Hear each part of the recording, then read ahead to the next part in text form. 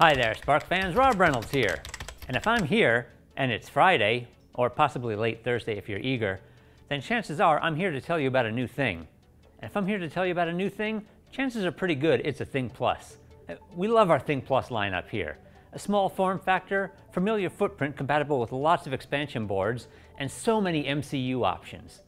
MCU options, I'm talking about microcontroller, not Marvel Cinematic Universe, which we have no say in, although I wish we did because that would be cool. Anyway, I digress. Yes, in fact, that is all to say, we do have a new Thing Plus board. And this time we've teamed up with the folks over at Crowd Supply to bring you this, the new SparkFun QuickLogic Thing Plus. As the name would indicate, the heart of this board is the QuickLogic EOS S3. This powerhouse is an MCU and eFPGA system on chip, housing an ARM Cortex M4F microcontroller at up to 80 MHz operating frequency with up to 512K SRAM, plus an embedded FPGA with 2400 logic cells and 64K of RAM. It hosts an SWD programming connector for use with a USB TTL converter with USB data signals tied to eFPGA programmable logic. UART is available via the I.O. headers, with I2C available via the I.O. headers or the Quick Connector. It also offers SPI and I2S communication. This board also has an onboard 3-axis accelerometer plus a digital PDM microphone with wake-on sound. It can be powered through its USB-C connector or with a LiPo battery, and that battery can be charged through the board thanks to its onboard charging circuitry. And all this on the good old Thing Plus feather-compatible footprint.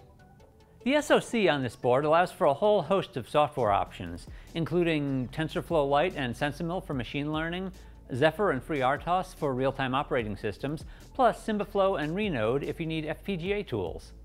The QuickLogic Thing Plus is an amazing choice for things like wearable voice and gesture sensing applications. And let's face it, as we all start to emerge after the last year and a half, cons are going to be a thing again. And the options for interactive cosplay costumes with the speed, power, and flexibility of this small board are mind-blowing.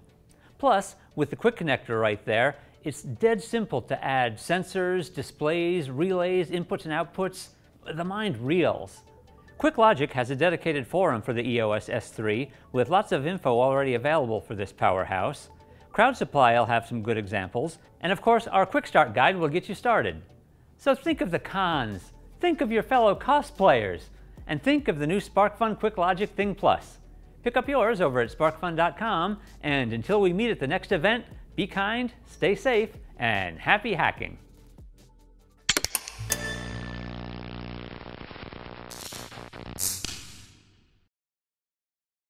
Chances are pretty good that it's a Thing Plus.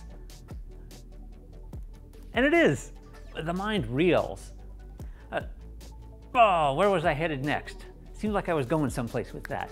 That's not what I was going to say. Okay, hang on. Starting again, starting again. After the past year and a half, when we all start, as, as we all start to emerge after the last year and a half, it seemed to be going well there for a minute. And then Hindenburg.